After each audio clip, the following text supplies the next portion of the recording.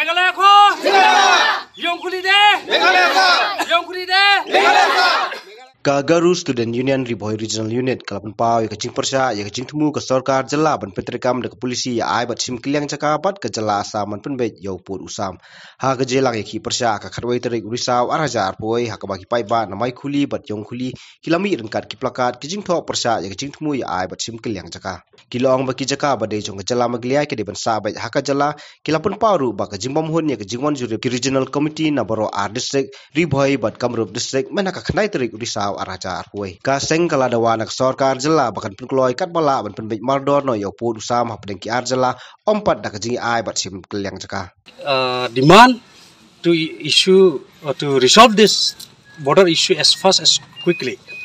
Because like uh, we the local residents starting out here we are facing very difficulty because this land it belongs to Meghalaya but the Assam counterpart they are claiming is Assam, Assam, Assam. So it's very difficult for us also, and the local people also, and they are facing very difficulty in going for the market area also.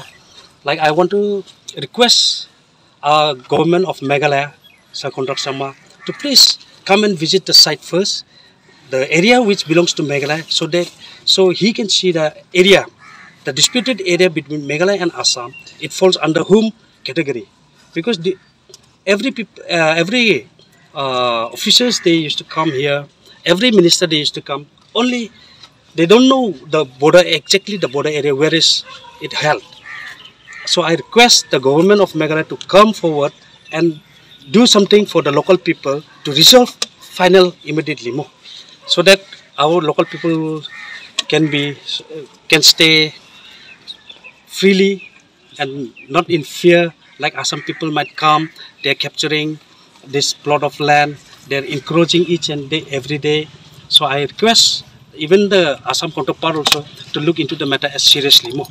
Yeah, actually when the uh, last saturday when deputy cm they came like we didn't have any information like they were coming to this disputed area.